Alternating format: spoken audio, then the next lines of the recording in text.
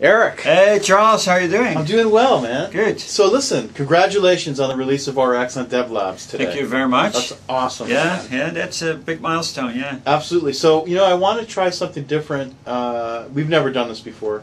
I want to do an RX overview in 15 minutes. Perfect. Okay. You should be able to do that. So let's start from ground zero. Why? Okay. Why did you do RX? What's going on here? Okay. Well, so uh, one of my favorite kind of you know hobbies is these uh, so-called uh, Raven tests. Okay. Um, and the idea of these tests is that you you know you get uh, a, a screen like this with some uh, pictures, and then you have to kind of figure out you know what is the missing picture. Okay. Now, the, the real underlying principle here is that you're looking for commonalities between the different pictures. In this case, you know, it, it's quite simple. I hope that you know that this one is the right one.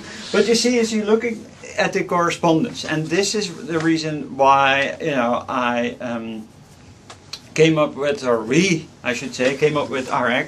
Uh-huh. It's the quest to find the commonality between things. So if you look at, there's multiple commonalities. If you look at like collections, they all are unified by IEnumerable. Okay. Arrays, lists, they all implement IEnumerable. Now, if you look at the, these collections, they are pool collections. So if you have an array, you can and you, you implement IEnumerable. You say move next, move next, move next. You're kind of pulling the elements out. Um, now, if you look at the uh, RX style collections, which are push collections, which are collections where the producer pushes values at you. Mm-hmm. Um, and again, there's uh, by coming up with an interface that unifies um, those kind of collections. Now you can start talking about uh, operations that work for all these collections. Um, and then um, examples of these kind of push collections are event streams or asynchronous computations or even normal enumerable collections. You can turn them into observable collections and vice versa. So with this we have unified this whole notion of collection, whether it's push or pull, and you can do all the same operations over them. Um, so it's kind of you know that we filled in this kind of missing gap here, and once you see it, it, it looks kind of obvious, but you know just to find the right one is is uh, is not easy. Perfect. So that's why. Okay. That's I think right. everybody understands that Good. now. Now we're going to get into what? Okay. What is RX? So what is RX? RX is basically um, a, a two uh, interfaces, um, um, iObservable and iObserver, um, that correspond to the two enumerable interfaces, iEnumerable and iEnumerator. And just like iEnumerable and iEnumerator have all the standard LINQ sequence operators like select, select many, where, group by, all of these, we have also um, implemented those for observable. Um, so let me draw the picture here. Um, if here on the side we have enumerable collections,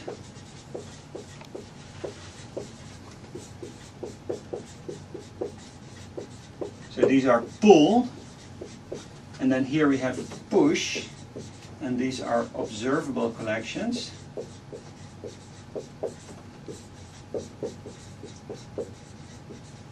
And then here we have the, the um, LINQ standard query operators. And what we did is we implemented the LINQ standard query operators also for um, observables. Okay. Now, if you look at when, when, when we were looking at these operators, we had some extras here. Some operators that we needed that were useful for these collections. So what we've done for symmetry, we also, um, as an added bonus, we, we kind of filled out this picture to add some extra operators here also to iEnumerables. Nice. Um, now the other thing that we're doing is um, if you look at uh, this here, under the covers there's concurrency. So there are certain operators here that introduce concurrency. And for that we um, use um, PFX. So um, all the concurrency in, in um, RX is done with PFX. All and right. the name RX uh, was inspired also by PFX. So Excellent. um, all the concurrency is done uh, via task of T, etc. So that's a, a, a very nice way. So this kind of layers on top of that. Excellent. Good. So that was the you know what we what we will give you. Perfect. Now let's talk a little bit about um, you know, and again, people who are watching this, uh, if you've seen the Brian Beckman one and the Wes one and several other ones, just understand that this is a release overview, and so we're not going to dig into all that stuff. You can go watch that again if you want. Yep. So let's talk about some scenarios. Okay, let's talk about some scenarios. Um, I'll erase this. And the main scenario where, where this all came from, the reason you know why we started to look at this, is to build distributed cloud-based applications. And if you're looking at the cloud-based application, the, well, there's the client, and then there's the cloud here with web services. Now there's two interesting um, observations. First of all, that the client has to communicate um, with the server, uh, with the cloud, Mm-hmm. and this is where you need asynchronous um, computation.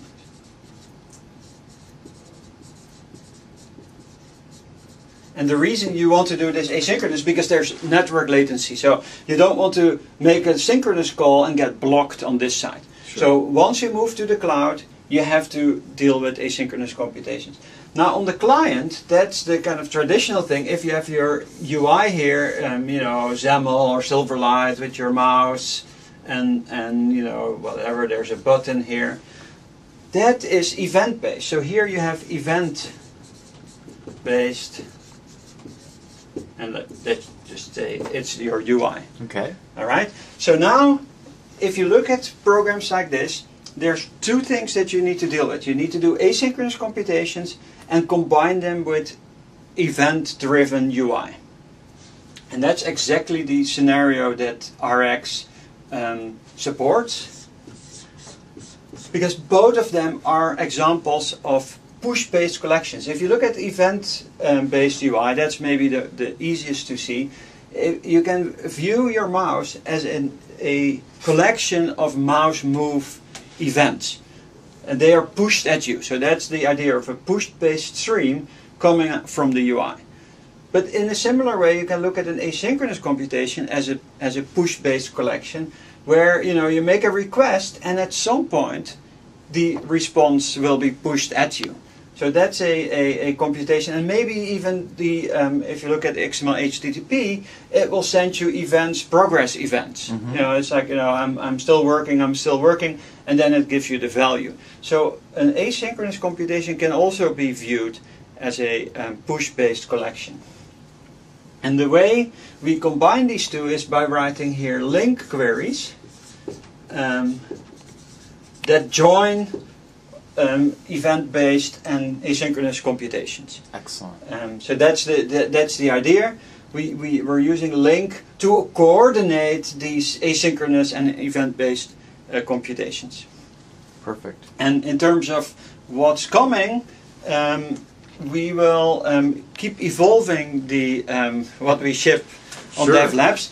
And um, one of the things that you know I, I, I I'm kind of teasing you here. Yeah. We'll also uh, come out with a solution where you can do the glue these asynchronous computations in a different way um, beyond LINQ. Hmm. Um, so keep tuned for that. Okay. Um, because we will kind of, you know, we, we, we keep kind of, you know, um, in, inventing stuff and um, showing it to, to uh, our developers to try it out to see if this is a good idea. Absolutely. And again, as I said, um, this is all based on, on uh, PFX. So all the concurrency in this whole system will be done using Task of T and all the other goodness. Uh, That's awesome. And what people may not know, since we're very transparent here, is you guys actually implemented on top of PX in record time, yes, which speaks volumes. Yes, yes, that was. I must say that was that was amazing. Um, within you know, once we um, made the decision, um, in, in, in within ten days, we had everything working on on, on top of PFX. That was uh, really cool. Excellent. So now let's continue here with. Yep. Uh, I think we've you know we've covered the basics. Um, let's talk about. I mean, I think it's might be kind of obvious, you know, what the benefits are, but let's be explicit about. Hey, I'm a developer. Uh, how does this benefit me as a composer of algorithms? Let's, let's talk about that. Yeah. So that's a very good question. So um, if you look at this problem domain, these are hard things. So, you know, dealing with asynchronous computation is a hard thing, and you have to deal there with um, errors and timeouts. For example, you know, what happens if you're making a request to the web server and it doesn't come back? So what you want to do is you want to be able to say, oh well, if it doesn't come back within one second, Hmm. I want to cancel the request and, and have a timeout. Um, another thing is if you look at um, the UI here, um, say that you're doing um, like a dictionary example where every time you, you, you type something here you want to look it up in the dictionary. Well, if you're typing really fast, you don't want to send for each keystroke um, request to the server. So you want to calm down the event stream, and only when the user pauses, you want to do you, you want to send the request. It's the same as in Visual Studio. IntelliSense is also kind of calming down. Not at every keystroke, you know, you get a drop down, but it's like when you when you pause a little bit, it will will show up. So all these kind of you know reusable components that you need to glue together these computations, that is what what we give you. Um, and if you look at the implementation, it's um, I, I, I- should say the, the implementation is more subtle than for enumerables, especially because of concurrency. Ah. Um, and so we take away a lot of the concerns um, with locking and trying to do, you know, to deal with this concurrency. Those are encapsulated, these patterns are now encapsulated in, in the sequence operators that we deliver. So you get a lot of reusable code that you can use to glue together your, your uh, computations. The other advantage, of course, is that all the knowledge that you have about LINQ Mhm. will just apply. So, in order to understand queries that you write over observable collections, you can just pretend that they are just enumerable collections, and you you see that they work, and then you know, okay, now I know what they do. So it's it's also a reuse of knowledge. All the investments that you've made in C Sharp and VB and LINQ will just carry over from the pool-based world that we've been programming in, you know, for a long time now to the new world of, of asynchronous computations. Outstanding. And that's uh, that is the world that we are heading in. Yes, exactly. Awesome. So get the bits, download them, Yep. and we can get feedback right back to Erik. and Yes. And we will be very active on the forums, and you know there will be many more Channel Nine uh, videos. Um, we will also um, uh, give you some puzzles you. where we have like little sample programs that we say, okay, try to write this using RX. Mhm. And also, as I said, keep tuned because we will be um, releasing more new features uh, once this is out. Um, and, and you will be really happy, I'm, I'm pretty sure, because there's some exciting stuff still in the pipeline. Right on. Well, hey, great job, Erik. Okay. Congratulations Thanks a lot. to you and your incredible team of wizards. Uh, yep, uh, right on, good. buddy. Thank Take you. care.